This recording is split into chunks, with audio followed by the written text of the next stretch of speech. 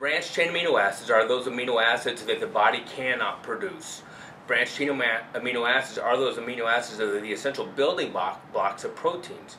These branched chain amino acids, if we do not get them in our daily diet, we have to get them somehow. We include these branched chain amino acids in Revitacin because they seem to be, uh, research tells us that they're the essential amino acids that allow uh, the body to promote that healthy uh, joint structure, that healthy muscular muscle tissue, uh, that the healthy cartilage, the healthy ligaments and tendons, and the synovial fluid that lubricates that joint. It's essential to have these branched chain amino acids because the, you have to have the essential building blocks of the proteins that you need in order to uh, increase the recovery and to help strengthen the immune system, to help increase the, the ability of the, the vital nutrients that, that the joint needs for to maintain normal healthy joints.